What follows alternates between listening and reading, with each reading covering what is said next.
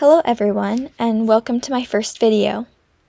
Today I will be analyzing and giving some background to the Songs of Innocence by William Blake.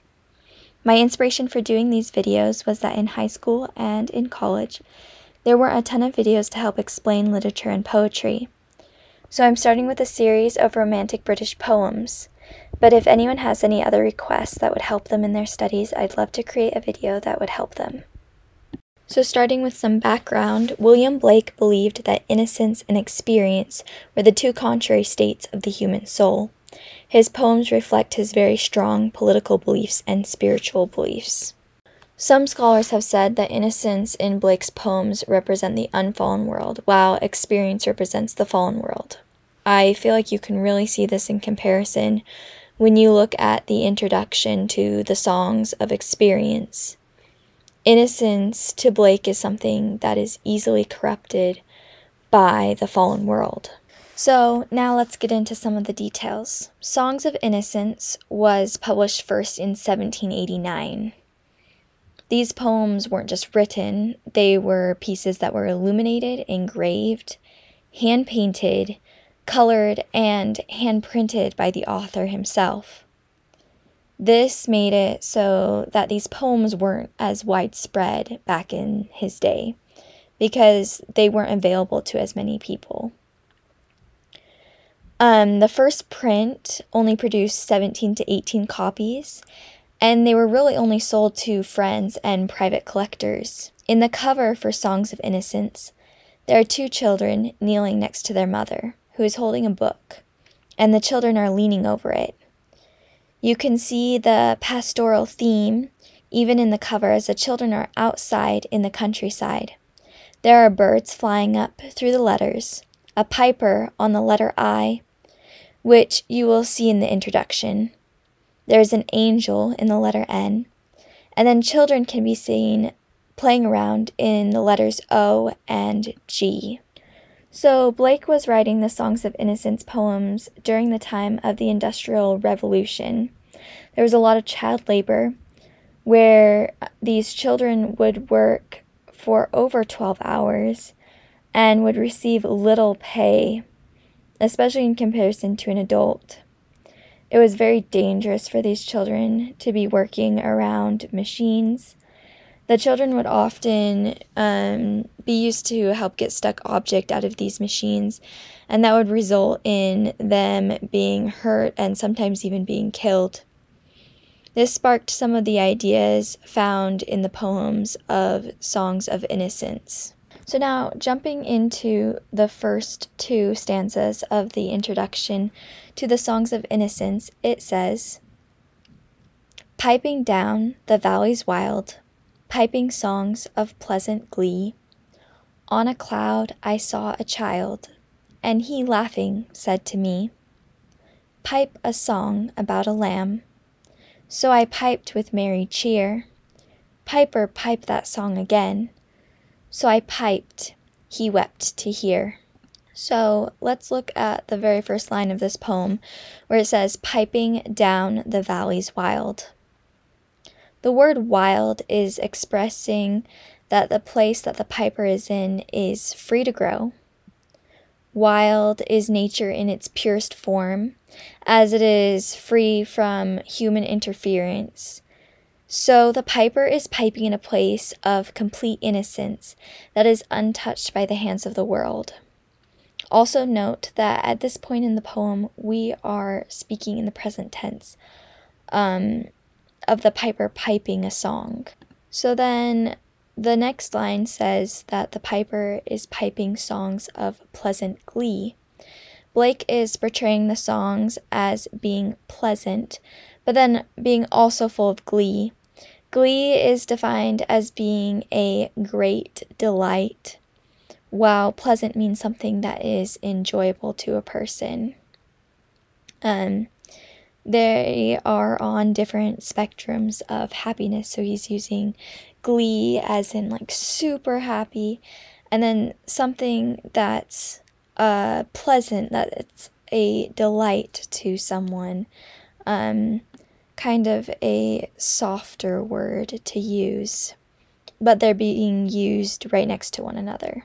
So um, the next lines say, On a cloud I saw a child, and he laughing said to me. Note that the child here is up in the sky. He's in a cloud, like an angel would be. They aren't even touching the ground yet, um, where the piper is. They are right now untouched by the world.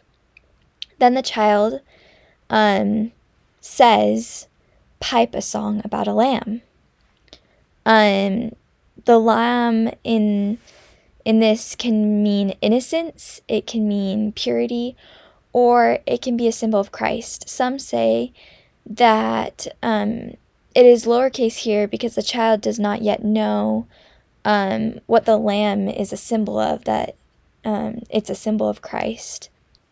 So the next part reads So I piped with merry cheer. Piper, pipe that song again. So I piped, he wept to hear. The piper piping the song again is the child gaining experience.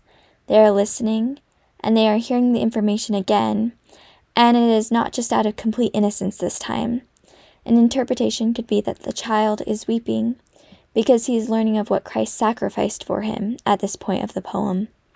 The child begins to connect emotionally to the song, which is also something that comes with maturity.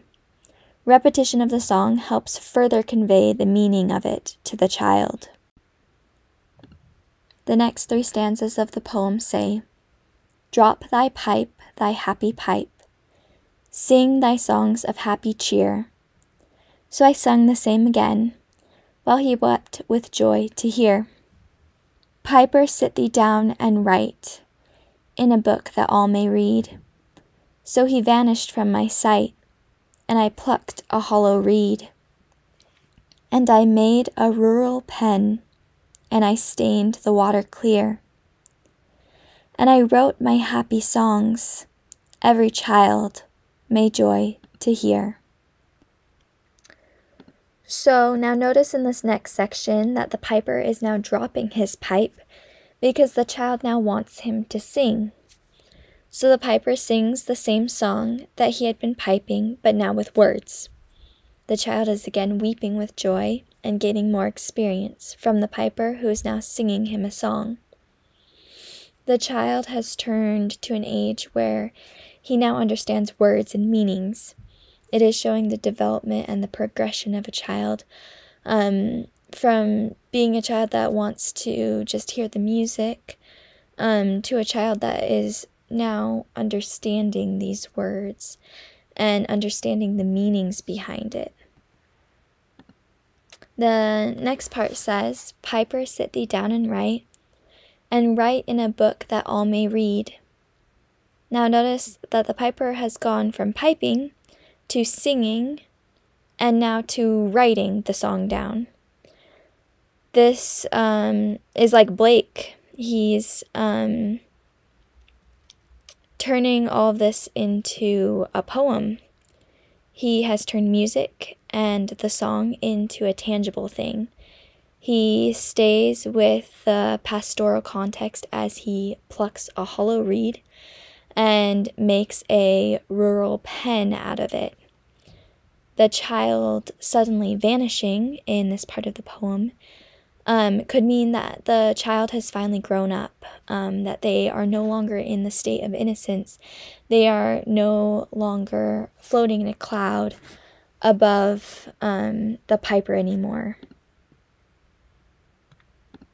The repetitive phrase and I um, in the next section creates an anaphora because the same phrase is repeated at the beginning of the sentence structures.